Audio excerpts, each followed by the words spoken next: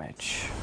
Right now, police in Westminster are searching for a man wanted for a shocking burglary. It was all caught on home security camera video. Man, it's just the cats are just in the living room and they've got this burglar in their house. Puts it into perspective. Fox 31's Carly Moore on live for Westminster Police with the details. And Carly, you could see the burglar with a gun in the video there.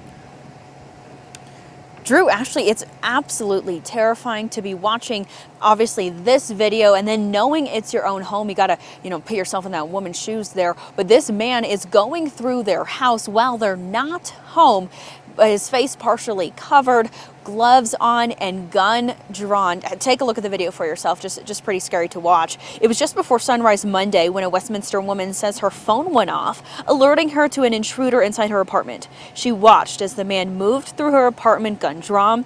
The person pocketing dozens of rings, necklaces, and other items from relatives she says that have passed away. And I start hitting my partner like, oh my God, there's a burglar in our house. He has a gun. He has a gun. Call 911. Call 911. And we couldn't call 911 because we were out of state and we had to be transferred. And it took like 10 minutes.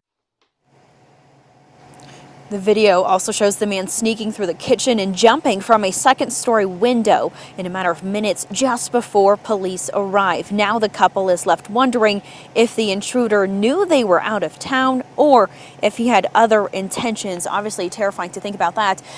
Now, uh, Crime Stoppers is offering a reward up to $2,000 for anyone who recognizes this person or knows anything. It's obviously a little bit hard to tell exactly what that person looks like, but they are hoping uh, that if you know anything, you should call 720-913-STOP. Live in Westminster this morning, Carly Moore, Fox 31. Yeah, Carly, can't imagine how they felt even being out of town, but seeing this video take oh place gosh. in their own home. All right, hopefully somebody out there knows something. Yeah. Thanks, Carly.